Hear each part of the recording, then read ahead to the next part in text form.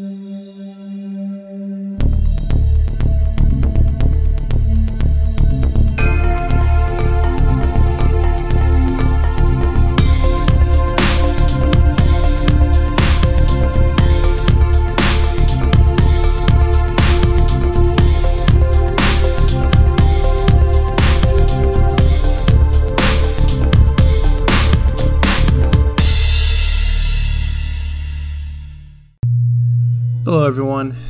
welcome today to part four of Mont Saint Michel.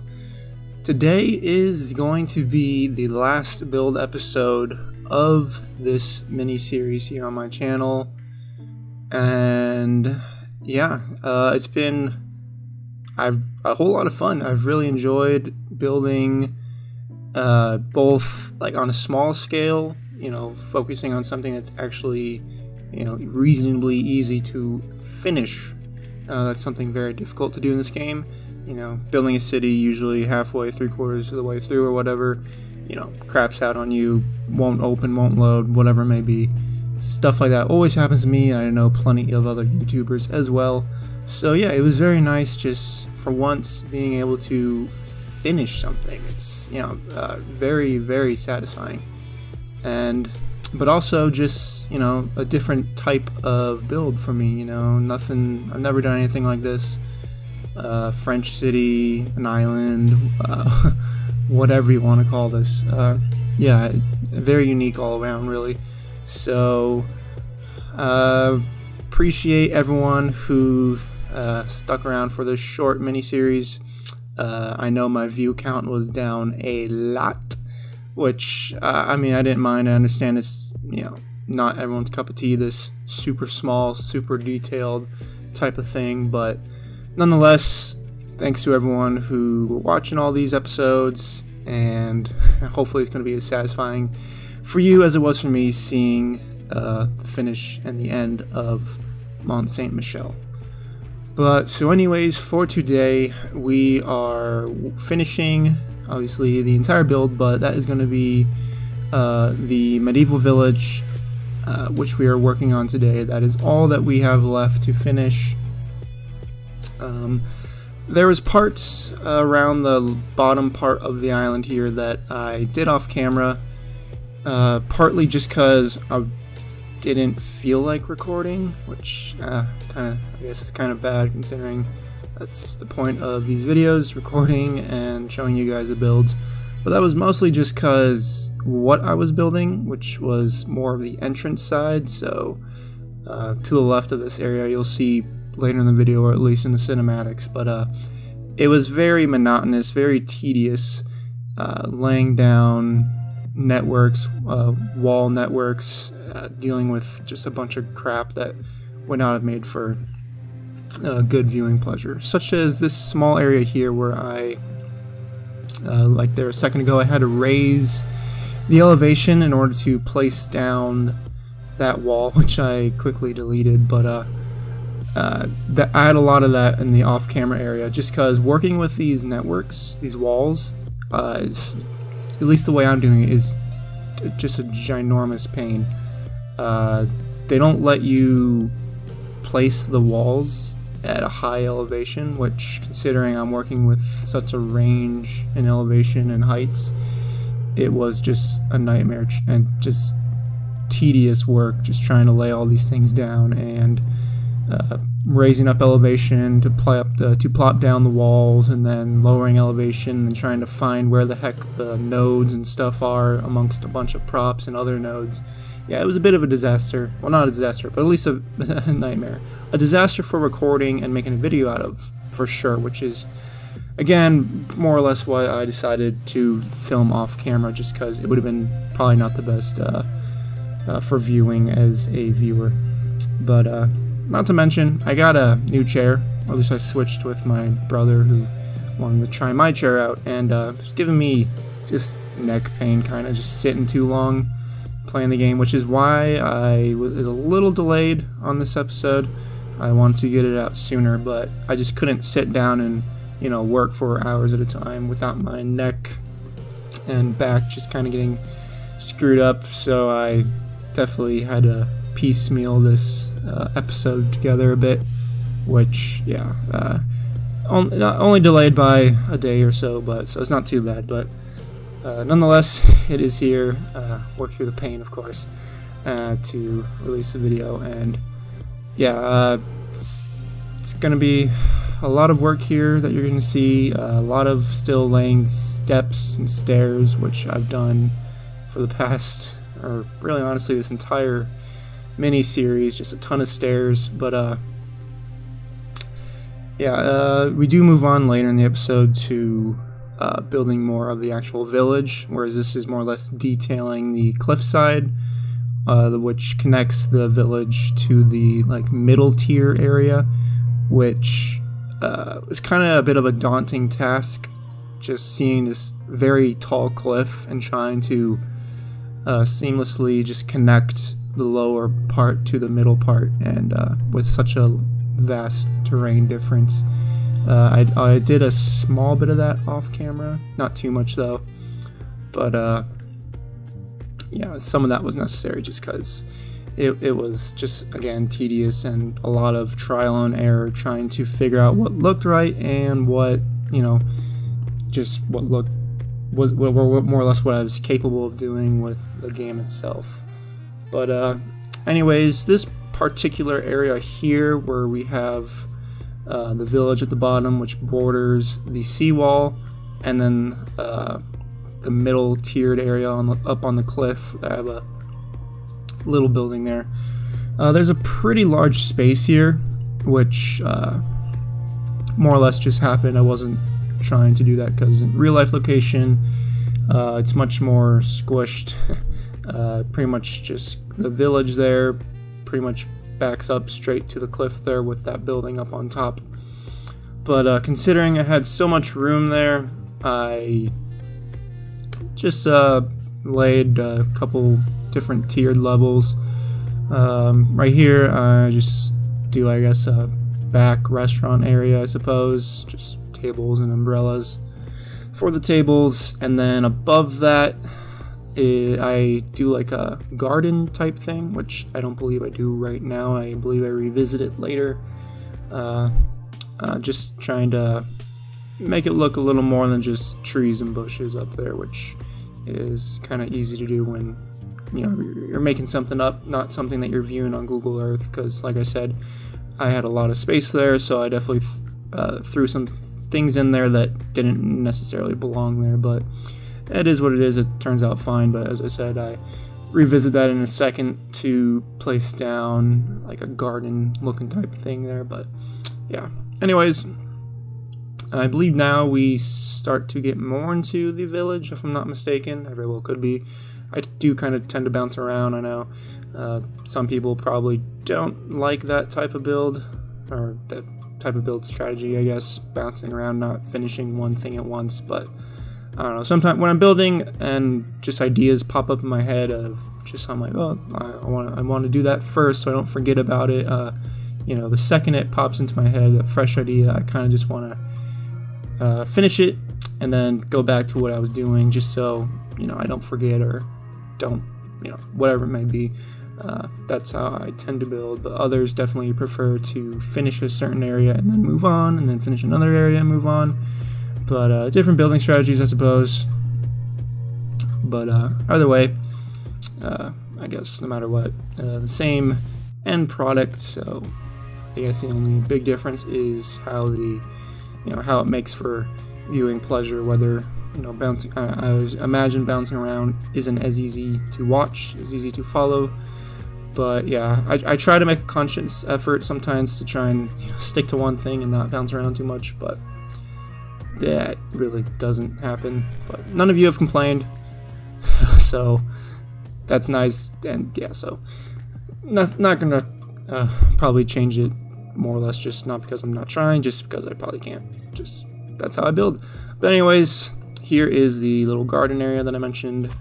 Uh, just dividing it up, making it look like, you know, not necessarily like a, like, it's not really connected to anything. There's no access points, there's no gates, there's no stairs going into it.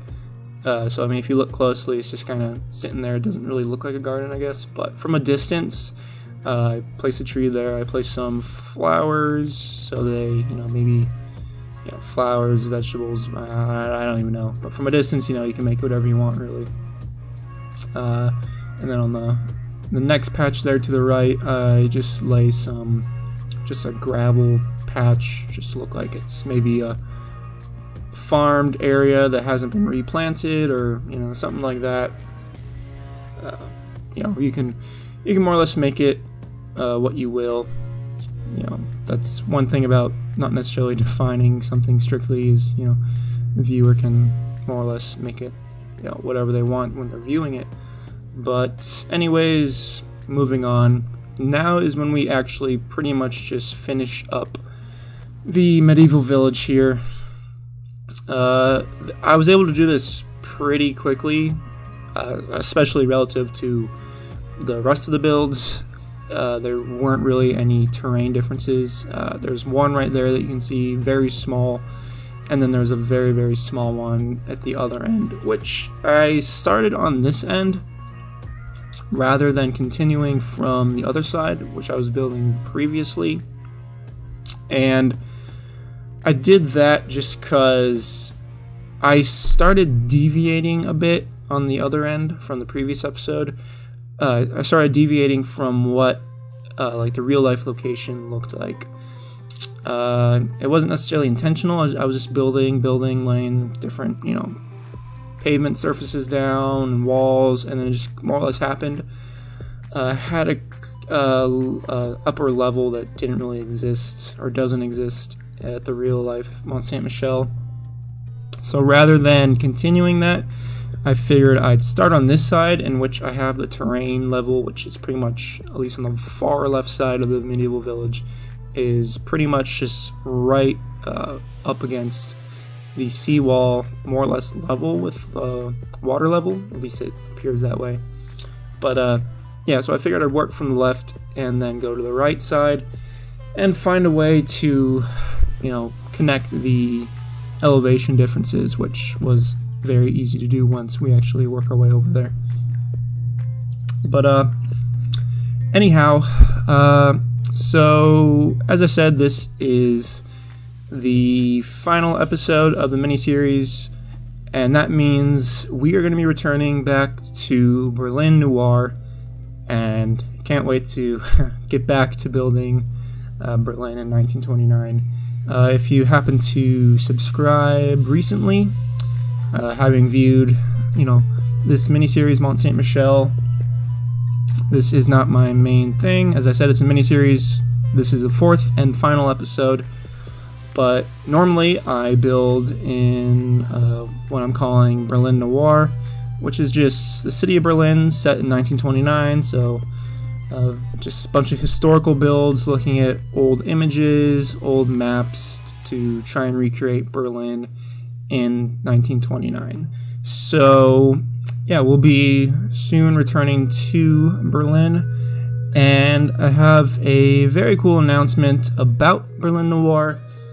Uh, the there is going to be a guest build uh, from Pingyao, another fellow YouTuber that I love his stuff. I've mentioned him a couple times because I definitely do uh, take some ideas and inspiration, especially uh, I've, like I mentioned in the previous episode, his stuff with PO is pretty awesome.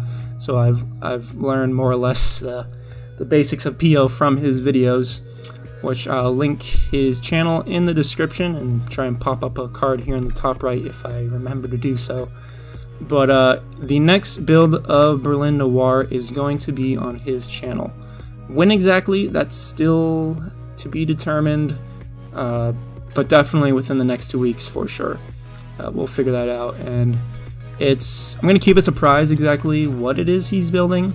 I've seen some screenshots of it, the final product, and yeah, it is. Yeah, you guys are going to like it, that's for sure.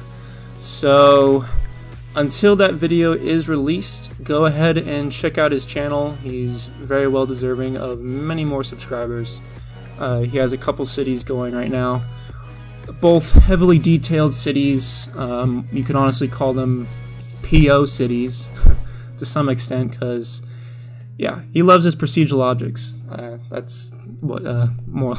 don't know what else to say about that. But uh, yeah, go ahead and check out his channel. As I said, link to his channel is in the description, and stay tuned to his awesome contribution to Berlin Noir in the coming weeks.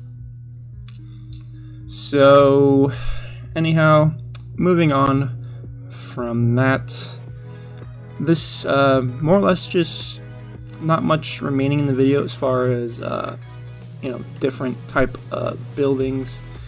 Uh, just a lot of these medieval style buildings. One unfortunate thing that you know I couldn't really do anything about, given the number of assets on the workshop that are you know themed and from the appropriate era with this medieval style, is uh, you know uh, French architecture and uh, just also the architecture on Mont Saint Michel. You know, uh, roofs are usually colored blue. Uh, there's a lot of blue on Mont Saint Michel and also just France in general. I mean, especially Paris. You know, you look on a map, there's just a ton of blue roofs usually, or at least shades of blue, gray, stuff like that. But as you can see, most of these roofs are not blue or, you know, some shade of blue. Most are kind of that reddish, well, not terracotta, but uh, you know that type of color. Which I mean, it's not a big thing, it's not super important, but I definitely would have liked to have had more roofs that were color blue because it, it definitely does keep more with the theme better. I tried to use as many as the buildings that I did have with blue roofs. Just the problem was a lot of those buildings with that colored roof were kind of shorter. They were, I guess, stubbier buildings. Whereas I often needed buildings that were longer and narrow, which, like, right over there in the background, uh, the buildings that are along the seawall, I needed those to be long and narrow, which is just uh, how they are in real life. So in, in order to copy that, I needed uh, just those long, narrow buildings. And with a few exceptions, like this one here is pretty long and narrow, and it has a bluish, grayish colored roof. But yeah, with a few exceptions, they were all not colored blue, their roofs. So yeah, I tried to incorporate kind of clumps of blue buildings. Like right here, I'm trying to stick with some blue roofs just to try and give it some realism. Because the way I see it is oftentimes, uh, maybe not necessarily in Europe. Uh, I don't know, I'm not too familiar, but you know, in the western United States, when you have housing and you know neighborhoods built next to each other around the same time even just there's like different developers and just you know stuff like that so even though the houses may look almost identical from like an aerial aerial view you have slight variations in roof colors.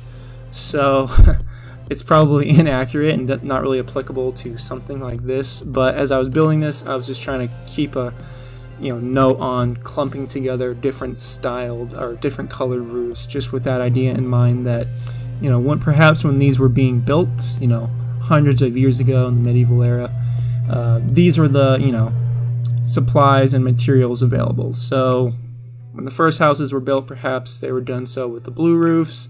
Then years later, uh, more houses and commercial buildings were put up, and they were done so with you know the available materials at the time, which were then the red roofs.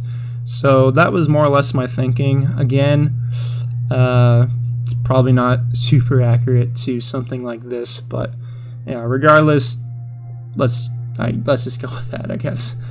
Uh, but anyways, yeah, that's a small detail nonetheless, and I'm sure most of you would not have noticed really or said anything about it unless you were a ginormous, you know, Mont Saint Michel nerd or, you know, frequent this uh, beautiful island regularly. But anyhow, uh, a lot of the detailing done, uh, you know, in the medieval village, I did so off camera uh, like placing down benches, lights down that narrow alleyway, uh, a couple like uh, like commercial booths, I guess you could call them, um, like flower tables and just general little market tables, I guess, where people would go buy their gelato or you know whatever a tourist would purchase on this island. But so as we are approaching the cinematics, I do want to say while this is the last build episode, next week I will release just a purely cinematic video, some music, uh, just a bunch of detailed cinematic shots for you all to enjoy. Uh, along with hopefully a special build from Ping Pingyao as I mentioned and Berlin Noir. So anyways, I hope you all enjoyed this mini series. I had a ton of fun building it and I will see you all next time.